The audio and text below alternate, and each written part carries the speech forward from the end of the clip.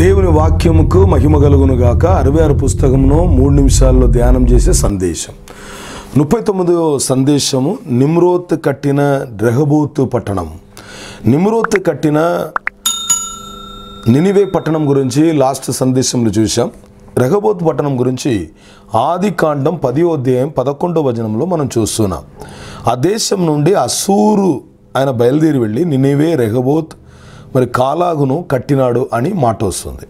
అయితే నినివే గురించి చాలా సందేశాలు మనకు దేవుడు తెలియపరిచిన రఘబోతు గురించి మళ్ళీ ఒక సందేశం బైబిల్లో రాయబడలేదు. మళ్ళీ ఇది ఎక్కడ రాయబడ్డది అని చూసినప్పుడు ఆదికాండం ఇరవై ఆరో దేయం ఇరవై రెండో వచనంలో ఈసాకు దేవుడు తనకిచ్చిన స్థలంను రెహబోతు అని పేరు పెట్టాడని రాయబడింది. దీన్ని బట్టి చూసినట్టయితే నినివేకి తర్వాత కాలంలో నాశనం జరిగినాయి. కానీ రెహబోతు పట్టణం నిమ్రోతు ఉన్నప్పుడే నాశనం చేయబడ్డదని దేవుని ఒక వాక్యం మనకు స్థిరత్వంగా బోధిస్తున్నది. సత్యమును గ్రజి గ్రహించునుగాక. మళ్ళీ ఒక సందేశంలో కలిసింది వరకు. ప్రైజ్లా